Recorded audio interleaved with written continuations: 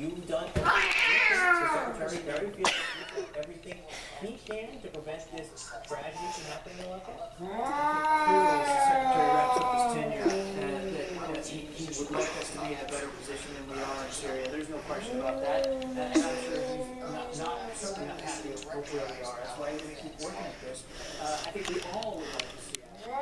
And the American people would like to see a better outcome there for the Syrian people. Uh, and that's what we, we all have to keep towards. Uh, that's why we continue to believe that the diplomatic solution is still uh, the, the right approach here. And I, you know, I associate myself with You know, I'm a, I'm a father too. It's hard to look at these images uh, and see these young children and these innocent people uh, being their own guns. But we have to keep that in mind. That that's the real